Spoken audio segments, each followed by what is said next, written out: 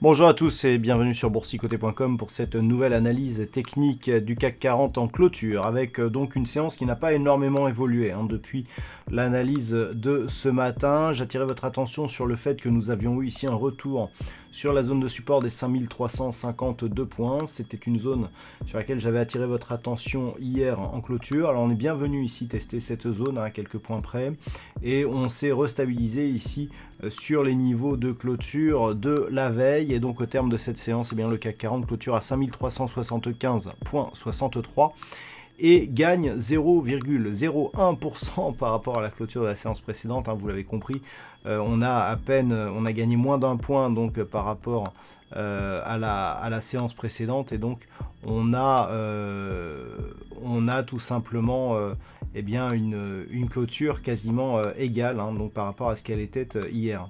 Alors du point de vue des indicateurs, on a une configuration qui faiblit hein, toutefois puisque nous avons ici les histogrammes du MACD qui euh, se retourne à la baisse, hein, c'est très net là sur cette phase.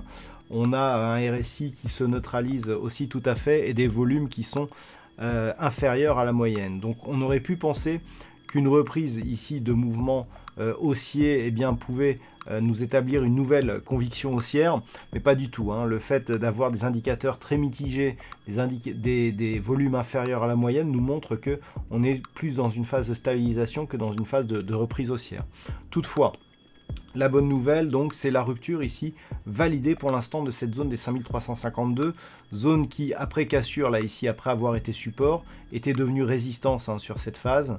On a marqué un nouveau plus bas significatif, on l'a franchi ici à la hausse et on vient pour l'instant s'appuyer sur ce niveau. Donc pour l'instant, on est dans une configuration où la continuité serait plutôt haussière.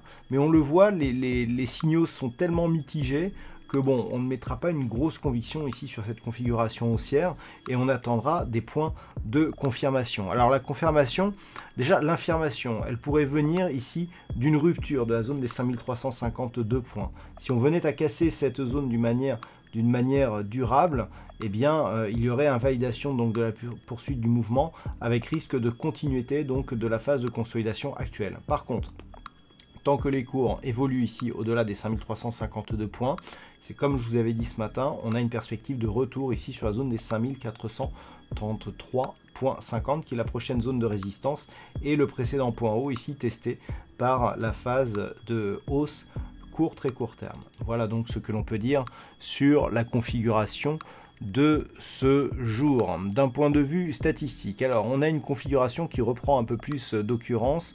Donc pour demain, il semblerait que par rapport au niveau d'ouverture, on soit plutôt sur une probabilité haussière à 57%. Donc c'est une, probabilité assez marquée avec notamment un, bon potentiel. Et puis pour ce qui est des, prochains jours, on, reste, on resterait hein, sur, une, sur une phase plutôt euh, de hausse mais les statistiques n'étant pas euh, totalement terminées, euh, bien vous en saurez plus en euh, consultant l'analyse écrite qui paraîtra durant la nuit. Voilà, donc je vous souhaite une bonne soirée. On se retrouve dès demain pour le trading live à partir de 14h et pour toutes les autres analyses techniques du site boursicoté.com.